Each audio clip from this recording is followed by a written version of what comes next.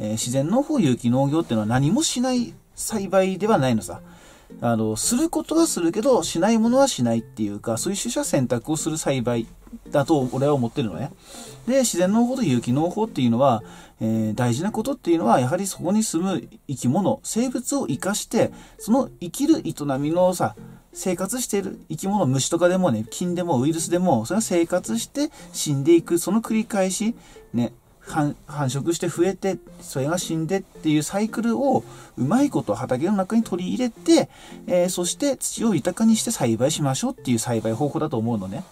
だから根本は有機であろうと自然農法であろうと自然農であろうと、えー、自然栽培であろうとえー、炭素循環農法だろうと、あと、金ちゃん農法だっけとかでもあっても、基本は同じだと思うんだよ。やはりそこに住む生き物を生かすために何をするか、で、何をしないかっていうことを考えてると思うの。だから根本は俺同じだと思うのさ。で、そのためには、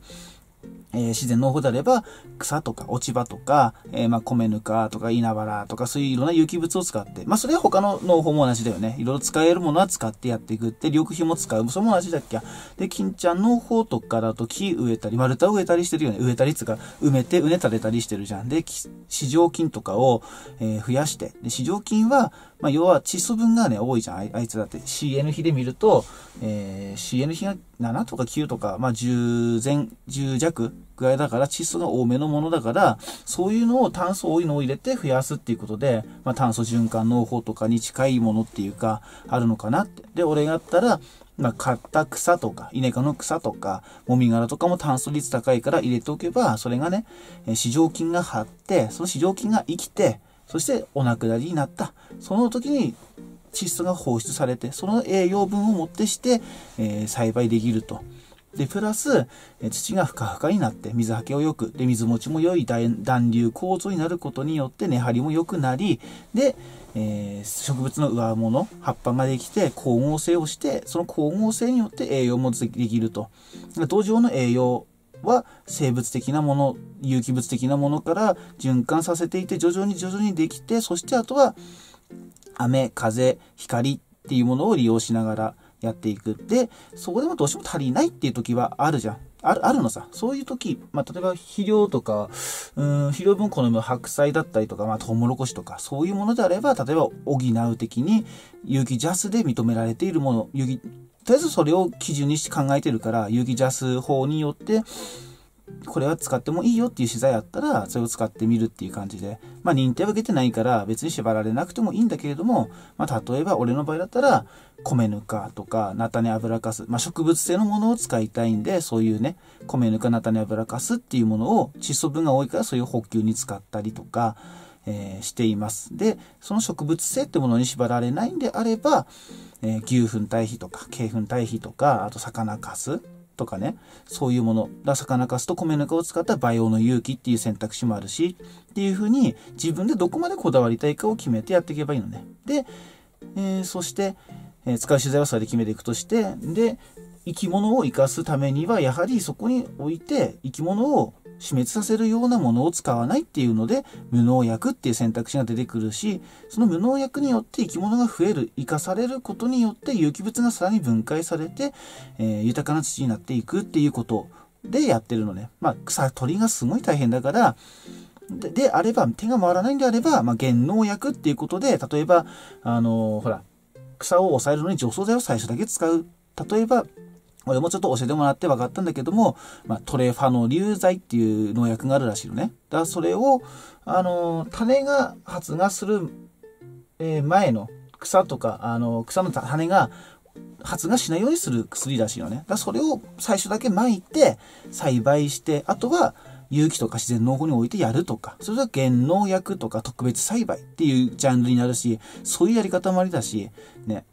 まあ俺はやっぱ草は生やしたいなーって思うから俺は使わないんだけれども、そういう選択もあるし、だからどこまでを自分でやるか、えー、許せるかっていうことで決めていけばいいし。ただ、やっぱりその作業によってそういう、なんつうだろうな、妥協っていう、妥協じゃないんだけども、やはりここは薬使わいたいな、使わないとちょっと無理だなっていうのは、やはり体の調子とかもあるから、それは俺はいいと思うのさ。原農薬特別栽培だって十分さ、俺は自然に配慮してると思うから。ね。だから、それはそれで俺はいいし、それを責める気もないし。だから観光農法で普通にね、農協の指示とか、あのー、そういうふうな種屋さんの指示でやってるのも俺は別に否定もしないし、ただ、有機農業っていうのは何もしない農法じゃないんだよっていうことをさ、今回ちょっとお話ししたくて、えー、まあ休憩時間にはちょっとトラックの中で撮ってるんだけども、だから本当に何もしないでやるんじゃなくて、えー、何をやって何をやらないかっていうことを選択していろいろ考えていろんな本を調べていろいろ考えてやってるの。いっぱい失敗しますけどいっぱいした失敗はしてるんだけれどもそういうのを考えてやった結果今のやり方っていうか動画にしてるやり方ね全部を全部動画で伝えきれてるかっていうと自信ないんだけれどもそういうふうにやってます。でだからとにかく一番は生き物をどう生かすかっていうことだね。それを念頭に置いて、で、彼らの邪魔にならないようにするにはどうするかっていうと、やっぱり農薬を控えるとか、化学費用を控えるとか、耕す量を控えるとか、えー、あとは有機物を入れる。で、その時有機物が働きやすいように起爆剤になるように米ぬかとかさ、窒素分の多いやつを、まあ、ナタに油かすとかも入れるとか、えー、浅く耕すとか、うんと、何年間か耕さないで草を生やす、緑肥を生やすとか、え、そういういろんなやり方が出てくるわけね。だから、化学肥料を、と農薬は使わないけども、何もしないんじゃなくて、その代わり何をするかっていうことを考える農法、ね、なのさ。だから、化学肥料と農薬の農法っていうのは、俺は化学の農法だと思ってて、で、俺らがやってるのは、当然、その窒素リン酸カリっていう栄養素っていうか、その化学的なところもあるんだ。あの、と、はい、あるんだけども、その植物の生態系の循環の中の食物連鎖とかそういうものも含めて考えて、俺は化学じゃなくて、乃木編の科学農法って俺は思ってるのさ。だから、よくね、自然農法やってる人、まあ宗教団体の人もいっぱいいるから、科学はダメなんだっていう人もいるのよ。さ、そうじゃないよって。科学っていうのは、えー、自然界のその成り立ち、例えば空食われるでもそうだし、え太陽が何で昇るかとか、えー、温度が何で上がるかとか、そういうのも含めて科学なんだよって。で、そういう人たち、宗教的にやってる人たち、ね、それは悪くはないんだし、えー、な悪くはないし否定する気はないんだけども、その人たちが言ってるのは化学のことだと思うんだよね。化学に特化してしまった農法が、だけばっかり行くのがちょっと弊害が出てきたっていうことで、えやはりその有機農業っていうものが見直されてきて、でもその有機農業を、は農業編の科学なんだよってこと。だからか、自然農法をやってる人たちも、やはり科学しないとさ、いけないと思うのね。ただ、やはり農家一人一人は科学者じゃないから、やはりね、なりわいとしてやってる人だから、なかなか難しいんだけども、やはりそういう視点、科学者に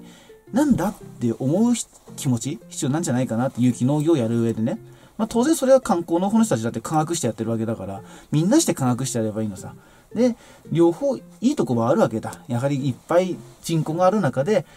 化学肥料農薬の存在っていうのはやっぱ必要なものだったかもしれないし、ありがたいものだったかもしれないし。ね。ただ、やはり日本の場合はこれから、胃袋はどうしても小さくなってくるね。お年寄りも増えてきて子供も減ってきてるっていうので、あそこもバランスもあるよね。作りすぎてないか、土壌が疲弊してきてないかとかね。で、化学肥料農薬使う人たちも、有機農法のやり方、堆肥を入れるとか、緑肥を生やすとか、と随分取り入れてくれるようになったよね、昔よりも。俺が子供の頃っていうか、自然農法、有機農業を学び始めた頃よりも随分、あのさ、JA さんでも、えー、ヤンマーさんでも、えっ、ー、と、種苗会社さんでも、えー、いろいろそういうの、働き、こういうのややってやりますよ、やりますよ、こういう機会がありますよっていう方法をね、随分発信してくれるようになったなと思って、だいぶ変わってきたなと思って、で、そうやって観光の方の人たちが受け入れてくれてるんだから、やはり、あの、我々自然農法とか有機農法やってる方も、ね、その、なぜ化学費用と農薬を使うのかっていうところを、やはり勉強して歩み寄るべきだなと思うし、ね。で、そこから学んで、あ、じゃあ俺らは、それらは使わないけど、こうやろうかなっていうのもあると思うし、ね。うん。何の話だったっけ？そうそう。だから何もやらない農法では、ではないんだよって話だったけれども、いろいろいろ巡ってきたけれども、まあそうやってね、科学してやっていけばいいんじゃないかなと思って、